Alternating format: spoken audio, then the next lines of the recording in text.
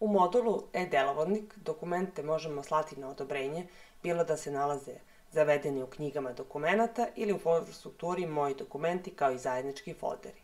Pristupit ćemo dokumentu koji želimo da odobrimo tako što ćemo kliknuti na naziv samog dokumenta i nakon što se nađemo u pregledu dokumenta, dokument možemo poslati na odobrenje sa taba tekst dokumenta ili sa taba odobrenja.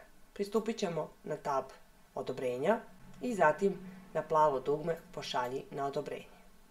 Biramo željeni fajl i nakon toga opciju da li želimo da pošaljemo na odobrenje po kreiranoj proceduri ili da odaberemo zaposlene koji odobravaju tako što ćemo kreirati trenutnu proceduru.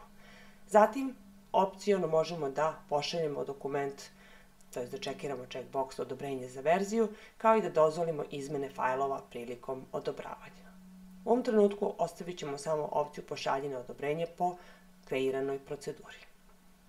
Zatim idemo na dugme dalje.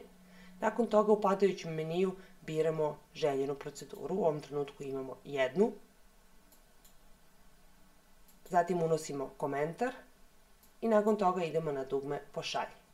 Ovim smo dokument poslali na odobrenje. Vidimo da u kreiranoj proceduri postoji samo jedan korak. Idemo na dugme akcije i zatim na odobrenje, gde imamo mogućnost da iskoristimo zlatni glas, da odbijemo odobrenje ovog dokumenta ili da odobrimo.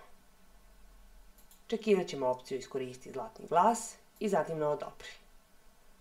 Ovim je dokument dobio status odobrenja odobreno i dokument se smatra odobrenim